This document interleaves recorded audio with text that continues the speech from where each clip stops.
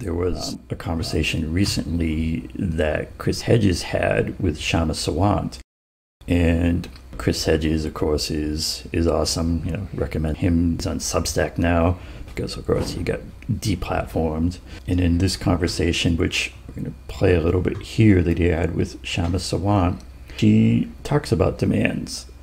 Uh, you know, the ALU did not agree with all of that, and it was because they decided to build independently, and then they did many things that most labor leaders haven't done in the last.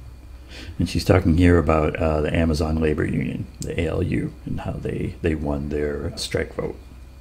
Last four decades, which is one, they led with concrete demands. You know, they, they didn't talk about the union as an abstract entity. They made it very clear to the workers in the warehouse, and workers made it clear to workers in the warehouse that we need a union because don't you agree that we need to win a $30 an hour starting wage? Don't you agree that we need job security? Don't you think that we deserve a say in scheduling? Don't you think that we should get full-time hours if we want them? You know, it was through concrete issues that they were able to build uh, this kind of solidarity, you know, shop floor solidarity, where it, you know you may not agree, you may not get workers to agree on every single thing on this planet on every ideological issue, but if you can get agreement on a core group of concrete demands, and that is a solid basis for building a unified struggle.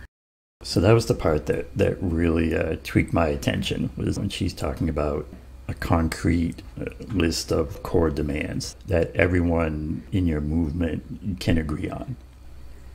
That's kind of what I have in mind. Or uh, my thinking is, is not so much that it's that it's me or it's or it's a particular person that needs to come up with this list or it has to be this certain list.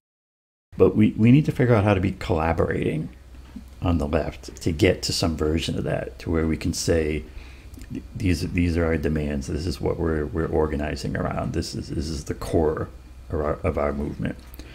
She even mentioned little later on in the interview that we need campaigns organized around demands and not personality politics.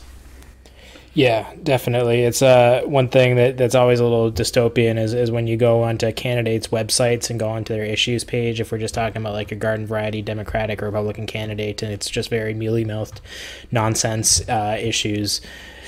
So yeah, um, I, I know you know we, we have some demands that we're going to share, but yeah, it's definitely something that should collaborate through without the left. And one of the kind of demanding in a general way, you know, that, that Democrats do better, you know, that, that used to be enough. yeah. And, you know, that was kind of the Bernie movement in a sense of, you know, and that of course is the AOC, the squad movement is this idea that, that we're going to, to get Democrats to do better.